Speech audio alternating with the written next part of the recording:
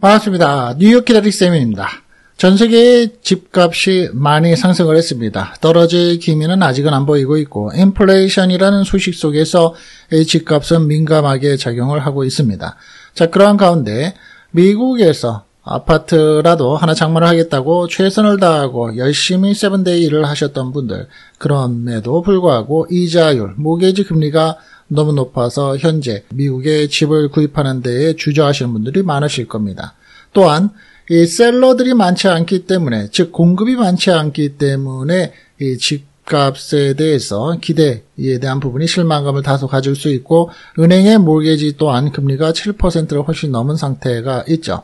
자, 그러한 가운데 미국에서 은퇴를 준비하게 됩니다. 그리고 현재 자녀들을 다 대학을 보내서 또 학자금 대출금을 갚기 위해서 또 자녀들이 집에 같이 기거를 하지 않으면서 이제는 집을 줄여야겠다고 생각하면서 우리가 노인 아파트 혹은 정부 보조의 아파트 등을 생각하게 됩니다. 오늘의 영상에서는 여러분들이 미국에 살면서 알아두셔야지만 될 꼭 알아두시면 도움이 될 만한 정보를 가지고 알아보겠습니다. 이에 대한 내용을 제가 수년 전에 여러 편의 영상들을 더 자세히 해놓은 것도 있기 때문에 제가 관련 링크는 걸어드리도록 하겠습니다. 어디요? 이 영상의 이쪽 부분의 하단에 있습니다. 영상 설명이라는 부분에 보면 있죠. 노인 아파트에 거주하는 홀로 된 노인들이 가족과 함께 살았던 과거를 해상하며 느끼는 이 고독감, 시간과 함께 커져갈 수밖에 없습니다. 고독감이 심해지게 되면 치매나 각종 노인 질환을 더 빨리 받을 수 있다라는 데이터들도 나오고 있죠. 한국이나 미국에 거주를 하는 노인이라도 자기 관리, 즉 자기가 먹는 음식이나 빨래, 청소, 운전 등을 할 수 있는 건강을 가지고 있으시다면 그것은 복이라는 삶이라고 볼 수 있을 겁니다. 자녀나 가족의 도움을 받고 의존해서 살 수밖에 없는 사람이 복 많은 노인이라는 이제까지의 사회 의식은 많이 달라지고 있기 때문입니다. 자생력을 갖고 생활하는 노인들의 가치 있는 삶을 존경하고 인정하는 사회 분위기 조성이 현재 되고 있는 가운데 미국에 거주하는 한인 노인들은 몸이 아프면 정부 노후 프로그램인 메드케어 즉 10년 이상 세금을 보고하고 난 다음에 정부로부터 받는 복지연금, 메디케이드, 영세민 복지정책이라는 내용으로서 의지를 하면서 메디케어와 메디케이드, 만 62세 이상부터 정부가 임대해주는 노인 아파트에 입주할 수 있는 이 내용을 우리가 생각해 보게 됩니다. 세금 보고를 한 것에 따라서 노인 복지 연금으로 용돈이나 각종 부대 비용으로도 사용을 할 수 있고요. 일단 젊어서 많은 세금을 내어야 하지만 노후가 경제적으로 여유로울 수밖에 없다는 겁니다. 뭐 이것은 굳이 미국이 아니더라도 한국도 비슷한 내용이겠죠. 월 소득이 낮고 저렴한 주택에 관해서 궁금하다면 우리가 꼭 알아두셔야 될 부서가 있습니다. 미국 주택 도시 개발부라는 겁니다. HUD가 약어이고요. 승인이 돼서 주택 상담원을 온라인으로 찾아서 상담을 해보시거나 전화번호 1800-569-4287로 전화를 하셔서 지역, 내가 살고 있는 지역의 주택 상담원, 즉, housing counseling agency를 찾으면 되기도 합니다. 상담원은 저렴한 주택 정보에 관한 조언을 제공하는 전문 인력으로서 비영리단체 소속일 수 있기 때문에 다소 좀 친절하다고 볼 수도 있죠. 미국의 저소득층 노인을 위한 주거용 시설, 주거용으로 제시가 되고 있고 support라고 있는 것은 크게 세 가지로 분류를 할 수 있습니다. 섹션 8 하우징이라는 겁니다. 그리고 public housing이라는 게 있고요. affordable housing, 즉 섹션 202라는 게 있습니다. 저소득층 공공주택 프로그램은 연방정부가 기금을 지원하고 운영은 주정부에서 하는 주택 보조 정책으로서 노인뿐만이 아니라 저소득층 가정과 장애인도 신청이 가능합니다. 하지만 모든 주택시장이 그렇지만 공급이 수요를 따라가지 못해서 대도시, 한인들한테 인기가 있는 도시, 그리고 한인들한테 인기가 있는 카운티는 지역별로 대기자가 짧게는 1에서 3년, 길게는 5년에서 심한 경우에는 10년까지 기다려야 된다는 단점도 있습니다. 우리들이 말을 하고 있는 노인 아파트, 노인 아파트 혹은 일명 양론이라고 불리우는 것은 주정부에서 운영하는 프로그램으로서 사는 지역에 따라 소득 부분의 자격 조건이 약간씩 상이합니다. 즉 차이가 납니다. 주로 저소득층 노인층이 62세 이상이라면 장애인에게 제공되는 혜택으로 미국 주택도시개발부 앞서 뭐라고 말씀드렸죠? HUD에서 승인한 주택 상담원을 온라인으로 찾아서 상담을 하면 되기도 합니다. 자격 조건 크게 세 가지로 볼 수 있는데요. 소득입니다. 인컴. 지역마다 소득 조건은 약간씩 다릅니다. 평균 개인 기준으로서는 3만에서 4만 불 이하, 또 2인 기준일 때는 3만 6천에서 4만 8천 달러 미만, 가족 기준으로서 4만에서 6만 5천 달러 이하, 신청인의 연소득과 가족 그리고 직업과 은행 밸런스 내역을 신청서와 함께 제출하면 되는 그러한 과정을 거칩니다. 나이는 62세 이상 노인, 저소득층 가정 또는 장애인에 해당이 될 수 있고요. 거주는 이제 미국에서 시민권자나 영주권자인 합법적인 신분을 가지고 계신 분들이 해당이 됩니다. 자, 그러면 앞서 말씀드린 것처럼 세 가지 중에 섹션 8을 먼저 알아봅니다. 섹션 8은 미국의 주택 보조 프로그램 중에 하나를 가리키는 용어입니다. 정확히 말하면 섹션 8 Housing 또는 섹션 8 Housing Choice Voucher Program이라고 부릅니다. 이 프로그램은 노인들만 입주 가능한 노인 아파트와 아이를 가진 저소득층 가정을 위한 아파트로 구분이 되며 노인 아파트의 경우에는 섹션 8 혜택이 아파트 건물에 붙어 있기 때문에 입주를 하면 자동으로 혜택이 주어집니다. 저소득층을 위한 가정을 위한 아파트는 정부에서 제공하는 섹션 A 바우처를 가지고 이 바우처를 받아주는 아파트를 찾아서 설칭하셔가지고 입주를 하면 됩니다. 섹션 8 하우징 초이스 부처 프로그램의 주요 특징은 제가 말씀드린 다음과 같은데요. 섹션 8의 혜택을 받는 입주자들은 월 수입의 약 30% 정도를 임대료로 렌트비로 지불을 하고 나머지는 연방주택국에서 집주인에게 직접 지불을 주는 제도입니다.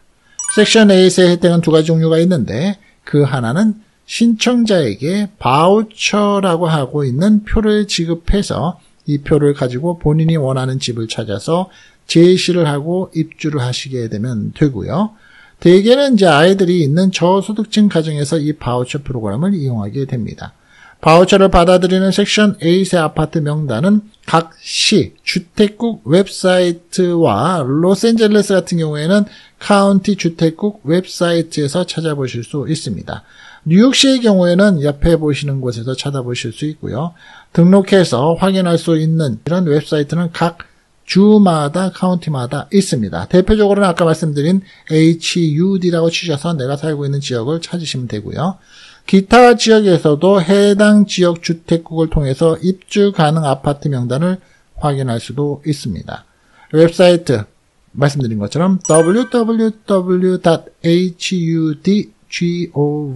입력 클릭을 하고 state information을 클릭하신 다음에 local resource란을 찾으신 다음에 apartment를 search하고 클릭하시면 여러분이 찾고자 하는 지역을 골라서 주택을 찾으시면 됩니다. 자, 한 가지 말씀을 드리면 이 웹사이트들, 정부, 미국의 정부 웹사이트들은 미국 외에서 인터넷을 들어가시면 잘 들어가지가 못하는 경우가 많습니다.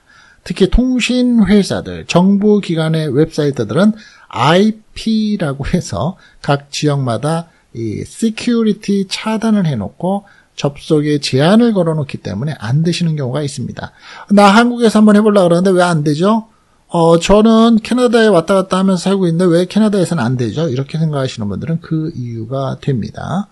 대부분의 노인 아파트 건물이 이 형태에 해당이 되기 때문에 노인 아파트를 입주로 원하는 신청자분들은 별도로 섹션 8 바우처를 신청할 필요가 없이 입주를 원하는 아파트에 직접 신청서를 application을 제출하고 기다리셔야지만 됩니다. 신청은 카운티 주택국을 방문하시거나 웹사이트에 들어가서 신청하면 대기자, waiting list 명단에 기록이 돼서 차례차례 기다리시게 되면 됩니다. 일단 바우처를 받게 되면 해당 카운티나 시에서 거주를 하다가 타 지역으로 이주를 할 경우에도 이전의 승인을 받아 전국 어디에서나 계속 사용하실 수 있습니다. 한인분들이 많이 살고 있는 지역은 수요가 앞서 말씀드린 것처럼 너무 많아서 신청서 자체를 받지 않고 있는 지역들이 있습니다. 접수를 받는다고 해도 입주 시기까지 대부분 대기자 명단, waiting list에서 오랜 기간 동안 대기 상태로 있는 경우가 많아서 미리 신청을 해 두시는 것을 권한다고 하는데요. 그럼에도 불구하고 거의 10년을 기다리시는 경우도 있습니다. 링크를 또 하나 뉴욕 같은 경우에는 걸어드리겠습니다. 자, 다음으로는 public housing은 미국에서 소득이 낮은 가정을 위해서 시나 카운티에서 소유하고 관리하고 있으며 제공하고 주거를 주는 그런 프로그램입니다. 주로 시형 아파트란 이름 많이 들어보셨을 건데요. 이 프로그램은 미국의 공공주택기관 Public Housing Agency에 의해서 약자는 PHA입니다. Public Housing Agency니까 앞에 자만 해서 PHA에 의해서 관리가 되며 저소득층의 가정들이 안전하고 적절한 주거 환경을 확보할 수 있도록 돕기 위해서 만들어졌는데요. 이 Public Housing이라는 것은 시나 카운티에서 소유하고 있는 관리를 하고 있는 대부분의 집들로서 저소득층을 위한 시영 apartment라는 이름으로 많이 얘기가 됩니다. 마찬가지로 Section 8과 같은 혜택이 주어지고 있는 건물이고요. 이 프로그램을 원하는 카운티 주택 사무국을 찾아서 문의를 하시거나 해당 웹사이트를 찾아서 아파트 명단에 waiting list를 하실 수 있습니다. 제가 요 하나 또 걸어드리면 affordablehousingonline.com 그리고요 뉴욕의 링크도 하나 걸어드리겠습니다. affordable low income housing이라는 게 또 있었죠. 무슨 무엇일까요? 정부에서 건축을 하고 있는 전문 건축사를 지원해서 지은 주택의 일부를 저소득층 가정을 위해서 아파트의 일부를 저렴한 가격에 일정 기간 저렴한 가격이라는 것은 대략 30%에서 80%까지 얘기를 하는데요. 임대, 렌트를 해주는 프로그램입니다. 신청하는 방법은 미국의 주택도시개발부 뭐라 그랬죠? HUD 사이트에 접속을 해서 여러분이 살고 있는 주 정부를 찾아서 지역 리소스, 즉 local resource에 클릭을 하고 apartment search를 실행해서 원하는 아파트를 찾으시면 됩니다. 원하는 지역에서 카운티와 우편번호를 이용해서 찾으시면 좀 빠르고요. 노인 아파트, 즉 elderly라고 해서 저소득층 가정과 또는 장애인 가정이 사용 가능한 아파트를 확인하고 본인이 입주하고 싶은 아파트를 찾아서 입주 가능한지 알아보시면 됩니다. 또한 일부 인기 지역이나 임대 아파트는 수요 과다로 인해서 신청을 마찬가지로 안 받을 수도 있고 신청을 받는다고 해도 최대 10년까지 기다려야 되는 경우도 있습니다. 공공주택의 경우 주정부, 시 또는 카운티에서 소유 및 관리를 하고 있기 때문에 해당 웹사이트나 주택국에 연락해서 문의를 하셔야 되고요. 원하는 주택을 혹시 찾았다라고 하면 입주하고 싶은 아파트로부터 입주 application을 받아서 작성을 하고 아파트에서 요구하고 있는 서류들, 즉 social security number, 소득 증명서, 은행 잔고 증명서 등을 제출하면 됩니다. 대부분 수요를 충족하지 못해서 waiting list에 있을 수 있는 경우가 많기 때문에 대기자 명단에 올려놓고 매년 혹은 수 달부터 확인하시면 됩니다. 노인 아파트는 이 복수 신청이 가능합니다. 즉 이쪽에도 놓고 저쪽에도 놓고 여러 아파트의 대기자 명단에 올려놓고 기다릴 수 있고요. 다만 이사를 만약에 하신다거나 주소를 옮길 경우에는 신청한 아파트에 연락해서 대기자 명단에서 누락이 되는 사태를 방지하셔야지만 됩니다. 또한 매년 한 번씩 연락하셔서 대기 상태와 내가 가지고 있는 waiting list에 올라 있는지 빠지거나 또 혹은 내가 뒤로 밀리지는 않았는지 확인하시는 것도 중요하다고 합니다. 자, 이에 대해서 어, 간단하게 세 가지가 크게 있다라는 점 설명을 드렸고요. 또 이에 대해서 대부분 좀 비슷하지만 공급 업체 간의 공급에 대한 조건이 좀 다를 뿐이죠. 참고 링크 가장 중요한 앞서 말씀드린 www www.hudgov 부분부터 제가 링크를 걸어드리고요. 주택기관의 웹사이트 걸어드립니다. 그리고 전체 50개 주를 제가 다 해드릴 수가 없기 때문에 우리 한인분들이 많이 살고 계시는 LA와 뉴욕시 쪽에도 링크 걸어드리겠습니다. 참고가 되시고요. 아셨던 분들은 다시 한번 이것을 확인하실 수 있는 정보가 되시기 바라고요. 모르셨던 분들은 이번 기회에 좀 알아두시면 좋을 것 같습니다. 앞서 말씀드린 것처럼 이에 대해서 더 자세히 제가 올려놨었던 사이트 제가 올려놓은 영상 링크도 같이 걸어드리겠습니다. 또한 앞서 말씀드린 것처럼 요즘처럼 직구하기 힘들고 렌트비가 가장 부담이 되는 시기에는 관심을 안 가지셨던 분들도 인컴이 낮아지신 분들도 한 번쯤은 관심을 가져보실 수 있는 정보의 시간이 되시길 바라고요. 혹시 모르시는 분들을 위해서 이번 주말에 주변 분들과 종교적으로 만남 또 여러분들의 모임이 있으신 경우에 이 영상 한번 또 링크 걸어서 소개를 하시면 좋을 것 같습니다. 오늘 영상이 꼭 도움이 되시기 바라고요. 늘 여러분들과 정보를 공유하고 상식과 시사가 함께 만들어 나갈 수 있는 뉴욕 기다리 쌤이었습니다. 긴 시간 동안 대단히 감사드립니다. 건강하시고요. 또 찾아뵙겠습니다. 뉴욕 기다리 쌤이었습니다.